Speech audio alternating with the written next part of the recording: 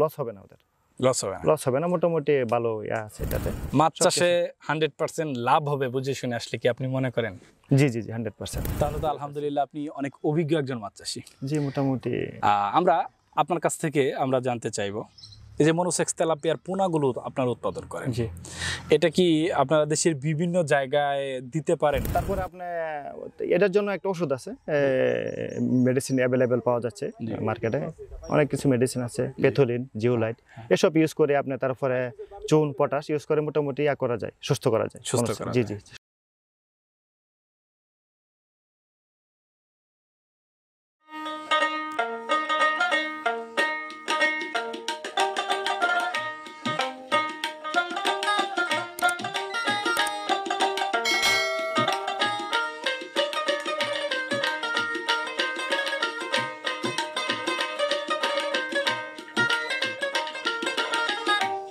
দর্শক আমার পাশে যে পুকুরটি দেখতে পাচ্ছেন এই পুকুরটিতে সেলিম মৎস্য হেসারি নামে বিশাল উপজেলার ধলা গ্রামে সেলিম ভাই মনোসেক্স তেলাপিয়ার পুনঃ উৎপাদন করেন এবং তিনি একজন তেলাপিয়া মাছ চাষি। আজকে আমরা সেই সেলিম ভাইয়ের সাথে কথা বলব। তিনি ব্যবসার পাশাপাশি অর্থাৎ দোকানের পাশাপাশি মনোসেক্স তেলাপিয়ার পণ্য উৎপাদন করেন এবং মনোসেক্স তেলাপিয়া চাষ করেন। আজকে আমরা তার কাছ থেকে জানব কীভাবে তিনি পুনঃ উৎপাদন করতেছেন এবং মনোসেক্স তেলাপিয়া কতটা লাভজনক চাষ করা? কীভাবে তিনি মনোসেক্স তেলাপিয়া আধুনিক পদ্ধতিতে চাষাবাদ করতেছেন? মনোসেক্স তেলাপিয়া পালনের ক্ষেত্রে কি ধরনের রোগগুলো হতে পারে? বিস্তারিত অনুষ্ঠান জুড়ে আপনাদের সাথে আছি আমি সাইফুল ইসলাম এবং আমাদের সাথে রয়েছেন কৃষি কথা টিমের সহযোগী মোহাম্মদ সোহাগ আহমেদ। আমরা এখন কথা বলব সরাসরি সেলিম ভাইয়ের সাথে। তার পূর্বে একটি কথা বলে নিই। আপনারা যারা এই মুহূর্তে দেশ কিংবা দেশের বাইরে থেকে যারা আমাদের ভিডিওগুলো দেখেন অবশ্যই আমাদের চ্যানেলটা সাবস্ক্রাইব করবেন এবং বেল আইকনটি বাজিয়ে দিয়ে পুরো ভিডিওটা দেখবেন। তাহলে বুঝতে পারবেন দেখতে পারবেন তেলাপিয়া মাছ চাষের বিস্তারিত সকল সর্ব সব কিছু। আমরা কথা না বেরিয়ে সরাসরি এখন চলে যাচ্ছি সেলিম ভাইয়ের কাছে। আসসালামু আলাইকুম। ওয়ালাইকুম সালাম। কেমন আছেন ভাই? ভালো। ভালো। আপনি ভালো আছেন? আলহামদুলিল্লাহ ভালো। আপনাদের ধলা গ্রামে এসে আমরা জানতে পারলাম আপনি মনোসেক্স তেলাপিয়ার পোনা উৎপাদন করতেছেন এবং মাছ চাষও করতেছেন মনোসেক্স। তেলাপিয়া। আমাদের দর্শকদের উদ্দেশ্যে যদি আপনি আজকে বলতেন যে আপনি কতটুকু জমিতে মাছ চাষ করতেছেন বা কয়টা পুকুরে আপনি মাছ চাষ করতেছেন? বর্তমানে আমার চারটা পুকুর আছে তে তার মাঝে এটা একটা এই একটা পুকুর আছে বর্তমানে তো এটার মধ্যে কালচার যে চাষটা হয় কালচার চাষটা ও ডিম ফুটানোর জন্য মনোসেক্স রাখা রাখা হয়েছে। রাখা হয়েছে। রাখা হয়েছে। এটা কতটুকু জায়গার একটা পুকুর? এটা আমাদের এখানে এক পুরা বলে প্রায় এক পুরার কিছু উপরে আছে এটা। আচ্ছা। জি এক পুরা এখানে কয়টা মাছের হ্যাচিং করার জন্য জাল দেওয়া হয়েছে? এটা ফোরটি পিস মতো আছে। 40 piece এর ফোরটি মতো। চল্লিশ পিসের মতো এখানে ফোরটি আচ্ছা আপনি কত বছর যাবত এই মাছ চাষের সাথে যুক্ত আছেন? আমি আট বছর ধরে মাছের সাথে যে ইয়ে আছে।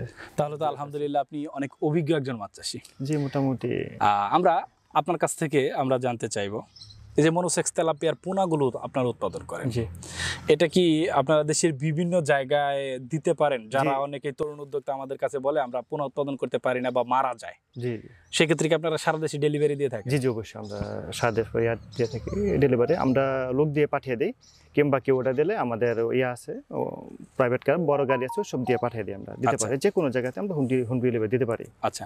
আচ্ছা এই যে ভাই আপনি দেখলাম পুকুরগুলো কীভাবে মূলত প্রস্তুত করছেন যদি আমাদেরকে বলতেন। পুকুর ভাবে মূলত পুকুর প্রথমে শুকাইতে হবে শুকায় ভালো করে রৌদ্র লাগাতে হবে। রৌদ্র লাগানোর পরে এখানে চুন সার কি কি প্রয়োগ করা দরকার সব কিছু প্রয়োগ করে তারপরে পুকুর প্রস্তুত করতে হবে। আর পুকুরে যে সাইডগুলো আছে কোনো গাছ আগাছা কোনো কিছু থাকলে ওইটা পরিষ্কার করতে হবে। হ্যাঁ। তারপরে মিনিমাম পাঁচ থেকে সাত দিন পুকুর ও রৌদ্র লাগে শুকাতে হবে। শুকাতে হবে শুকনো করতে হবে। আচ্ছা এই যে আপনি মাছ চাষ করতেছেন। মাছের প্রথমত এক বিঘা জমিতে যদি কেউ মাছ চাষ করতে চায় জি। অনেক সময় সব থেকে গুরুত্বপূর্ণ যে বিষয় মাছের খাবার মোটামুটি সবাই দিতে পারে দোকান থেকে আনতে পারে। কিন্তু তেলাপিয়া মাছে বা মনুসেক্স তেলাপিয়াতে এটা তো দ্রুত বৃদ্ধি পায়। জি দ্রুত বৃদ্ধি পায়। বছরে কতবার মাছ চাষ করতে পারবে একটি পুকুরে? মনুসেক্স তেলাপি এক বছরে এক পুকুরে টু টাইম চাষ করতে পারবে। অর্থাৎ দুইবার চাষ করতে পারবে। চাষ করতে পারবে দুইবার চাষ যদি করে জি। এক একবারে হুম। পুকুরে এক মানে এক শেডে। এক চালানে কত মাস পর্যন্ত মাছগুলো লালন পালন করতে হবে?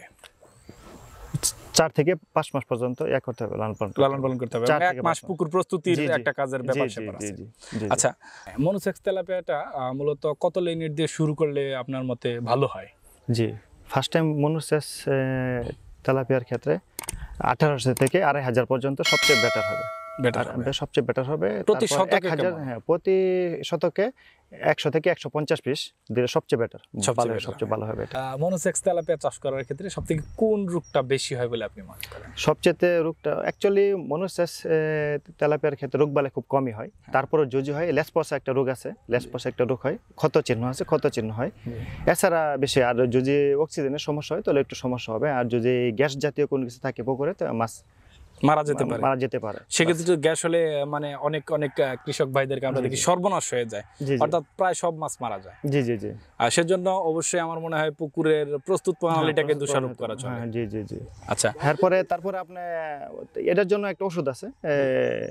মেডিসিন অ্যাভেলেবেল পাওয়া যাচ্ছে মার্কেটে অনেক কিছু মেডিসিন আছে পেথোলিন জিওলাইট এসব ইউজ করে আপনি তারপরে চুন পটাশ ইউজ করে মোটামুটি ইয়া করা যায় সুস্থ করা যায়। সুস্থ করা জি জি সুস্থ করা আচ্ছা এছাড়া মাছ চাষের ক্ষেত্রে কি কোনো ধরনের সমস্যার সম্মুখীন হয় বলে আপনি মনে করেন? না না মাছ চাষে বেশি একটা সমস্যা হয় না। মোটামুটি লাভজনক ব্যবসা এটা সবাই করতে পারে। যারা মোটামুটি তরুণ সবাই এটা করতে পারে আচ্ছা। লাভজনক ব্যবসাটা এই যে আমরা আপনি বললেন যে আঠারোশো থেকে পঁচিশশো বা তিন হাজার লেনের যে মাছটা আমরা ছাড়লাম ছয় মাস বা চার মাস বা তিন মাস লালন পালন করলে সেটা কত লেনের বা কতটুকু ওজনে চলে আসে এটা এইট হান্ড্রেড গ্রাম আছে সিক্স থেকে এইট হান্ড্রেড গ্রাম।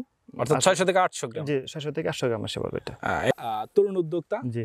এবং প্রবাস থেকে যারা আমাদের ভিডিওগুলো দেখে। তারা যদি মাছ চাষ করতে চায় তাদের উদ্দেশ্যে আপনি কি বলবেন যদি আমাদের বলতেন? জি ওনাদের উদ্দেশ্য আমার একটাই বলার আছে।